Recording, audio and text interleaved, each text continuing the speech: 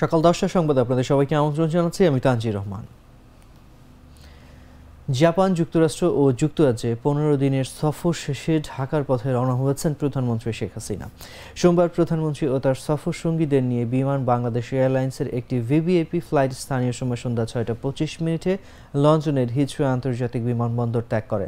প্রধানমন্ত্রীকে বহনকারী বিমানের ফ্লাইটটি আজ সকাল সাড়ে নয়টায় ঢাকার হজরত শাহজালাল আন্তর্জাতিক বিমানবন্দরে অবতরণের কথা রয়েছে। বিমানবন্দরে প্রধানমন্ত্রীকে বিদায় জানান যুক্তরাজ্যে নিযুক্ত বাংলাদেশের হাই কমিশনার সাইদা মুনাত তাসনিম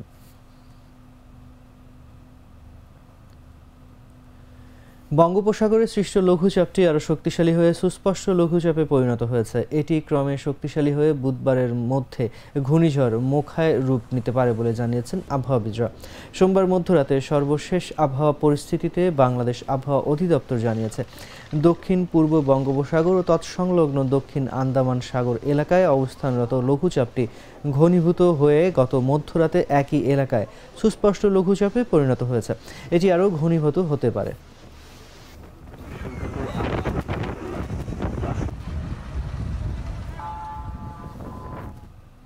দেশের সর্ববৃহৎ ইউরিয়া উৎপাদনকারী প্রতিষ্ঠান যমুনা সার কারখানার উৎপাদন আবারও বন্ধ হয়ে গেছে। এ নিয়ে গত ছিয়াত্তর দিনে তিনবার যান্ত্রিক ত্রুটির কারণে কারখানার উৎপাদন বন্ধ করে দেওয়া হলো। সোমবার রাতে সার কারখানার অ্যামোনিয়া পাম্পে লিকেজ দেখা দেওয়ায় ইউরিয়া উৎপাদন বন্ধ করে দেয় কর্তৃপক্ষ। স্থানীয় কারখানা সূত্র জানায়, চলতি বছরের বাইশ জানুয়ারি ভারতীয় বিশেষজ্ঞ তানাজি এস পন্দেকারের নেতৃত্বে একটি দল কারখানা অ্যামোনিয়া প্লান্টের এনজি বুস্টার কম্প্রেসার পরিদর্শনে আসেন। পরিদর্শনের সময় তিনি এনজি বুস্টারের একটি ভুল বাটনে চাপ দেন। এতে বিকট শব্দে অ্যামোনিয়া প্ল্যান্ট বন্ধ হয়ে যায়। এর ফলে কারখানায় ইউরিয়া ও অ্যামোনিয়া উৎপাদন পুরোপুরি বন্ধ হয়ে পড়ে।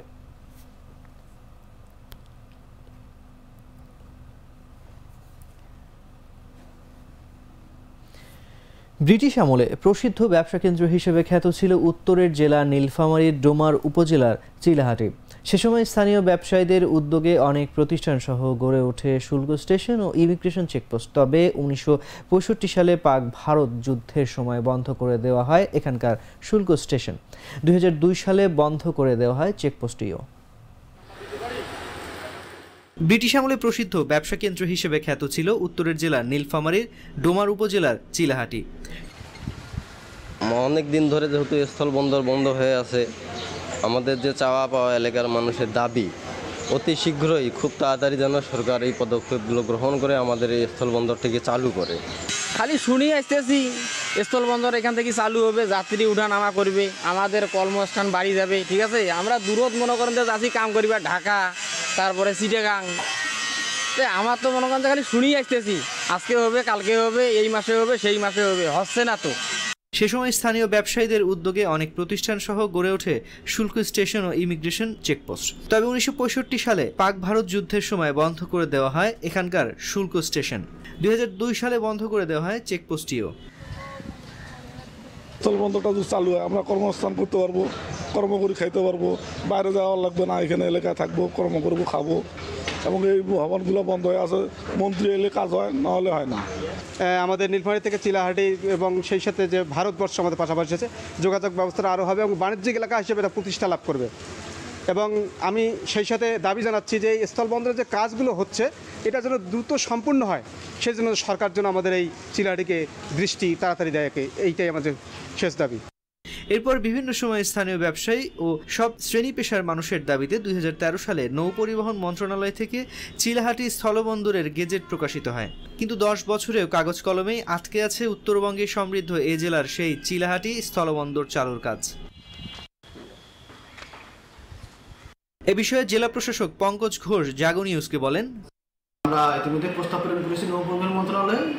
এই স্থলবন্দরটি যাতে সম্পূর্ণভাবে কার্যকর হয় এবং এর প্রয়োজনীয় অবকাঠামো এখানে নির্মাণ করা যায় দ্রুততম সময়ের মধ্যে, সেটা করা গেলে এলাকার ব্যবসা বাণিজ্য অনেক বৃদ্ধি পাবে, এখানে কর্মসংস্থানের সৃষ্টি হবে এবং টোটালি এই নীলফামারী তথা এই রংপুর বিভাগের অন্যান্য পার্শ্ববর্তী জেলাসমূহেরও অর্থনৈতিক কর্মকাণ্ড অনেক বৃদ্ধি পাবে। তবে চিলাহাটিকে আন্তর্জাতিক রেল স্টেশন গড়ে তোলার লক্ষ্যে নির্মাণ করা হচ্ছে আইকনিক ভবন, তৈরি করা হচ্ছে সংযোগ রেল লাইন সহ অন্য অবকাঠামো।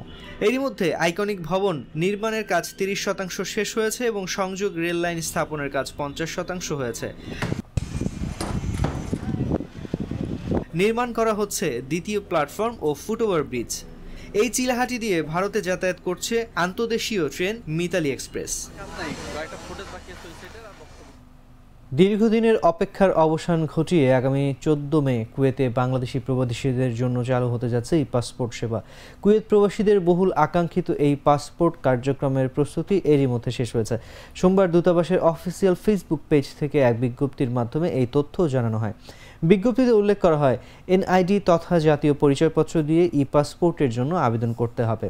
জাতীয় পরিচয়পত্র না থাকলে অনলাইন জন্ম নিবন্ধনের ইংরেজি সনদ দেখিয়ে আবেদন করা যাবে, তবে এক্ষেত্রে কোনো কাগজপত্র সত্যায়িত করা লাগবে না।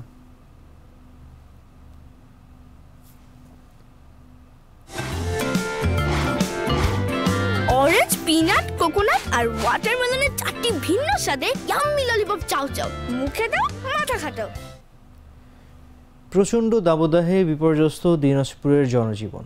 প্রখর রোদে রাস্তায় টিকতে পারছেন না শ্রমজীবী খেটে খাওয়া মানুষ। একটু শান্তির পরশ পেতে গাছের ছায়ায় ছুটছেন তারা। গত কয়েকদিন ধরে দেশের অধিকাংশ এলাকার মতো দিনাজপুরে বয়ে যাচ্ছে তাপপ্রবাহ। তাপমাত্রা পঁয়ত্রিশ থেকে উনচল্লিশ ডিগ্রি সেলসিয়াসের মধ্যে ওঠানামা করছে। বেলা বাড়ার সঙ্গে সঙ্গে বাড়ছে গরমের তীব্রতা। সোমবার দিনাজপুরে আটত্রিশ দশমিক চার ডিগ্রি সেলসিয়াস তাপমাত্রা রেকর্ড করা হয়েছে। তবে এক ওয়েদার নামে একটি ওয়েবসাইট দেখাচ্ছে, দিনাজপুরে উনচল্লিশ ডিগ্রি তাপমাত্রা বিরাজ করছে। প্রচণ্ড গরমে দুর্ভোগে পড়েছেন শ্রমজীবী মানুষ। গরমে রাস্তায় টিকতে না পেরে ইজি বাইক রিক্সা চালক ও দিনমজুর শ্রমিকদের বিভিন্ন জায়গায় গাছের নিচে গিয়ে বিশ্রাম নিতে দেখা গেছে। রাস্তাঘাট অনেকটা ফাঁকা। প্রয়োজন ছাড়া মানুষ রাস্তায় বের হচ্ছেন না। তীব্র গরমকে আরও অসহনীয় করে তুলছে ঘন ঘন লোডশেডিং।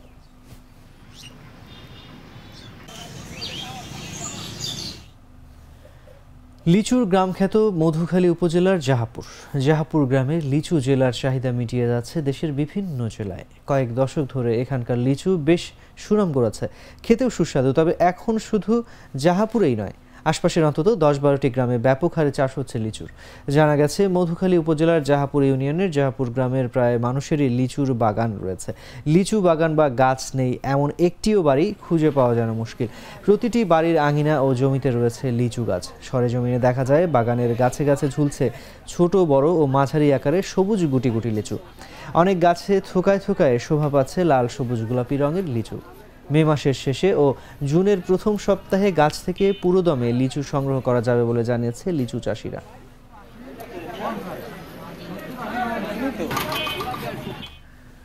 রাশিয়া ইউক্রেন যুদ্ধ পরিস্থিতিতে ডলার সংকটে পড়ে দেশ।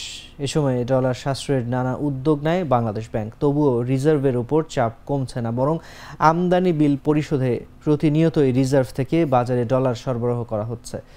বিশেষত এশিয়ান ক্লিয়ারিং ইউনিয়নের বিল পরিশোধ করায় দেশে বৈদেশিক মুদ্রার রিজার্ভ আরও একশো আঠারো কোটি ডলার বা এক দশমিক এক আট বিলিয়ন ডলার কমেছে। এতে রিজার্ভ কমে দাঁড়িয়েছে উনতিরিশ দশমিক সাত সাত বিলিয়নে, যা গত সাত বছরের মধ্যে সর্বনিম্ন।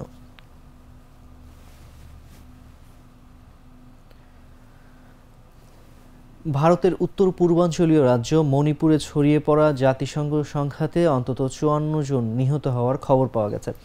আতঙ্কে ঘর ছাড়ছে হাজার হাজার মানুষ। মণিপুর থেকে প্রায় ছয়শো জন পার্শ্ববর্তী মিজোরামে আশ্রয় নিয়েছে, যারা প্রায় সবাই কুকিচিন মিজো জনগোষ্ঠীর মানুষ। অন্য রাজ্যগুলো তাদের বাসিন্দাদের মণিপুর থেকে জরুরি ভিত্তিতে সরিয়ে নেওয়ার প্রক্রিয়া শুরু করেছে।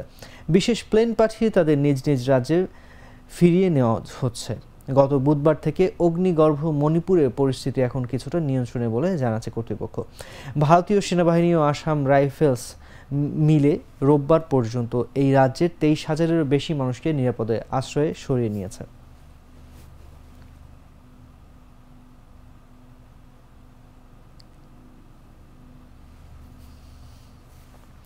না ফেরার দেশে দুই বাংলার জনপ্রিয় সাহিত্যিক সমরেশ মজুমদার।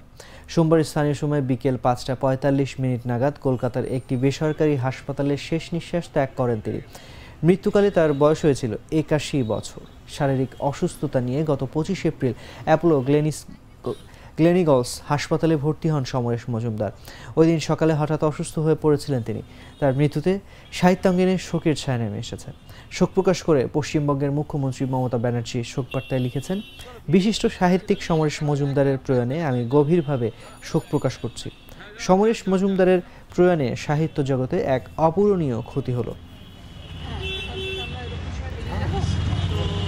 আমাদের সাহিত্য, বাংলা সাহিত্য জগৎ ক্রমশ দিন থেকে দিনতর হচ্ছে। কারণ কোভিডের সময় আমরা বেশ কয়েকজনকে হারিয়েছি। প্রথম সারির সাহিত্যিক বলতে যা, যারা রয়েছে, তাদের মধ্যে আরেকজন মহিরুও চলে যে মানুষটা গত পঞ্চাশ বছর ধরে, পঞ্চাশেরও বেশি উনিশশো সাতষট্টি সাল, প্রায় তি- পঞ্চান্ন, ছাপ্পান্ন বছর ধরে বাংলা সাহিত্যকে তার কলমের জাদুতে মাতিয়ে রেখেছিলেন। সেই মানুষটা চলে যাওয়া মানে আমরা তো আরও আরও বেশি মানে একটা মানুষের তো মানার থাকে, অভিমান থাকে, তার রাগ থাকে নানাভাবে মানুষকে দেখার সুযোগ হয়েছে। কিন্তু আমাদের কাছে সমাজবাদীদের লেখার ক্ষমতা, এবং আমরা মনে করতাম যে এই উপন্যাসের সমস্ত ঘটনাই সম্পূর্ণ সত্যি। এটা বিশ্বাস করতাম যে বুদ্ধের চরিত্র সত্যি। এইটা এবং এখনও যে কিছু ছেলেমেয়েরা যারা পরে কালবেলা করতে চায় বাংলা সাহিত্যের একজন দিকপাল লেখক চলে গেলেন আজকে। তাতে বাংলা সাহিত্য যে সমৃদ্ধ হচ্ছে সেই সমৃদ্ধ থেকে খানিকটা ব্যাহত পরপরেই কয়েক বছরের মধ্যে আমরা বেশ কিছু সাহিত্যিক হারিয়েছিলাম আজকে হারিয়ে দীর্ঘদিনের সম্পর্ক প্রকাশনার সূত্রে মানে এমন সাহিত্য সৃষ্টি করে দিয়ে গেছেন, বাঙালিকে চিরদিন মনে রাখতে হবে তার কারবেলা, উত্তর পুরুষ উত্তরাধিকার, তার রম্যরচনা, তার ছোট গল্প, কী দিয়ে যান আগামী জুন মাসে বাংলাদেশে আসার কথা ছিল আর্জেন্টিনা বিশ্বকাপ জয়ী ফুটবল দলের। কিন্তু মাঠ প্রস্তুত না হওয়ায় সেই সফরটি বাতিল হয়ে গেছে। তবে বাংলাদেশে না আসলেও জুন মাসে মেসিরা আসছেন এশিয়া সফরে। আর্জেন্টিনার সংবাদ মাধ্যম টিওআইসি স্পোর্টস জানিয়েছে, এশিয়া সফরে আর্জেন্টিনার একটি ম্যাচের প্রতিপক্ষ নিশ্চিত হলেও অন্যটি এখনও হয়নি। আগামী পনেরো জুন এশিয়ার মাটিকে আর্জেন্টিনা, মাটিতে আর্জেন্টিনা খেলবে একটি ম্যাচ। তবে সেই ম্যাচের প্রতিপক্ষ কে হবে নিশ্চিত হওয়া যায়নি। মোহামেডানের হয়ে গত দুই মৌসুম ধরে খেলা সৌম্য সরকারকে বিশ্বকাপ দলে চান tiger head coach Chandika Hathurusinghe. জানা গেছে, নির্বাচকদের কাছে বারবার সৌম্য সম্পর্কে নিজের উৎসাহের কথা প্রকাশ করেছেন তিনি। কোচের সে আহ্বানে সারা দেননি নির্বাচকরা। তারা জানিয়েছেন, সৌম্যের বর্তমান ফর্ম খুব খারাপ। মোহামেডানের হয়ে গতবারের লিগে খারাপ খেলতে খেলতে এক পর্যায়ে বাদ পড়েছিলেন সৌম্য। এবারও সব ম্যাচ খেলতে পারেননি। রবিন লিগ আর সুপার লিগ মিলে চোদ্দ খেলার তিনটিতে ড্রপ করা হয়েছে সৌম্যকে। গাজী গ্রুপের বিপক্ষে শেষ ম্যাচেও সৌম্যের জায়গা হয়নি প্রথম একাদশে।